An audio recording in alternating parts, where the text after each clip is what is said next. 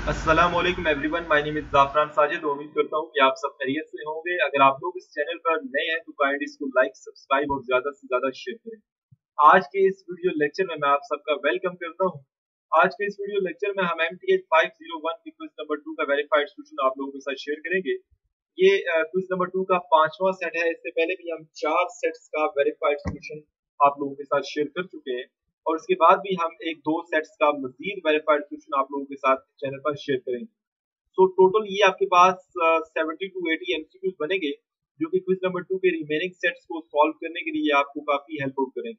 और साथ साथ आपका जो मिड टर्म का पेपर होगा उसमें भी आपको ये सारे एमसीक्यूज काफ़ी हेल्प आउट कर सकते हैं। क्योंकि तो क्विज स्टार्ट करने से पहले यहाँ पर कुछ बेसिक इंस्ट्रक्शन हैं आप काइंडली को एक नज़र देख। मैं क्वेश्चन नंबर वन पे जाता हूँ। Okay this is question number one all the lines those passes through origin are not the subspaces of a plane. वो सारी लाइंस जो कि ओरिजिन से पास होती हैं, वो प्लेन की सबस्पेस नहीं बनाती। क्या ये स्टेटमेंट ट्रू है या फॉल्स है? तो ये स्टेटमेंट जो है वो फॉल्स है। जो लाइंस ओरिजिन से पास करती हैं, वो सबस्पेसेस होती हैं। इस वजह से ऑप्शन बी जो है वो करेक्ट ऑप्शन है। मूव करते हैं क्वेश्चन नंबर टू पर। Which one is not the axiom for vector space हमारे पास चार ऑप्शन हैं और ये क्वेश्चन आप यकीन माने कि चार सेट्स जो मैंने पहले पढ़ाए हैं, उन सारों में आया हुआ है।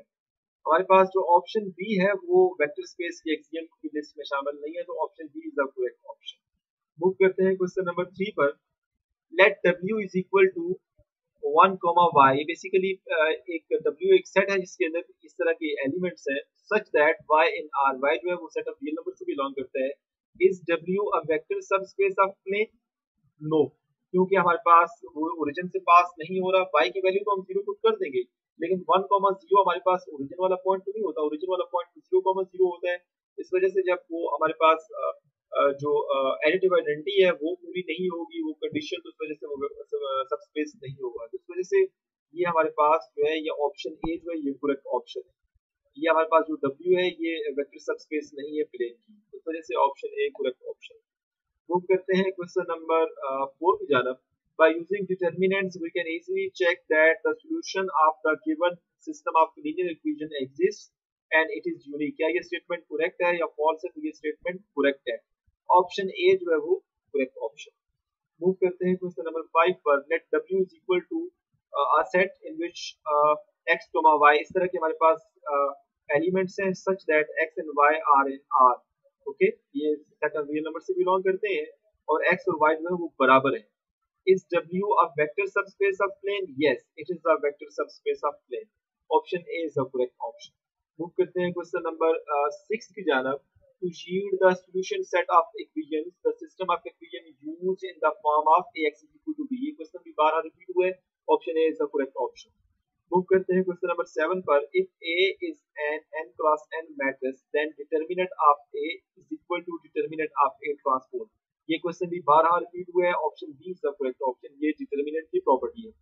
मूव करते हैं क्वेश्चन नंबर 10 पर। Which of the following is the volume of the parallel pipe determined by the columns of A where A is the 3 cross 3 matrix.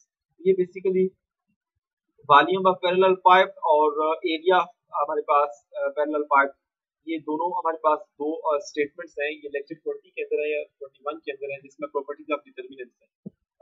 ये बेसिकली ऑप्शन जो है डी है, ये करेक्ट ऑप्शन जो parallelepiped का volume होता है, वो बेसिकली हम इस तरह से अगर मैट्रिक्स फॉर्म में कोई डाटा गिवन हो तो हम इस तरह से फाइंड करते हैं। Determinant of determinant of A okay sorry mod of determinant of पे मूव करते हैं नेक्स्ट क्वेश्चन पर। That is question number 9 if A is the triangular matrix then determinant of A is the product of the entries on the main diagonal ये question भी बार repeat हुआ है option C is the correct option move करते हैं set की आखिरी question की जानब for any subspace W of a vector space V which one is not the axiom for subspace अच्छा सबस्पेस के लिए दो एक्सियम होते हैं एक ये कि अगर u और v जो है वो सबसेट w से बिलोंग करते हैं जो कि किसी वेक्टर स्पेस v का सबसेट है तो u प्लस v जो है वो भी w से बिलोंग करना चाहिए। मतलब अगर u और v w से बिलोंग करते हैं तो u प्लस v भी w से बिलोंग करना चाहिए। और अगर k आपके पास कोई नॉन ज़ीरो नंबर है या कोई स्केलर है तो हम k को जब किसी यू वेक्टर के साथ जो कि डब्ल्यू से बिलोंग करता है तो के यू जो हमारे पास होगा, वो भी डब्ल्यू से ही बिलोंग करते हैं। मतलब सब स्पेस होने के लिए दो कंडीशन का फुलफिल होना ज़रूरी है। पहला ये कि हमारे पास कम्यूटेटिव प्रॉपर्टी होल्ड करनी चाहिए सॉरी क्लोजर प्रॉपर्टी होल्ड करनी चाहिए और दूसरा स्केलर मल्टीप्लिकेशन होल्ड करनी चाहिए।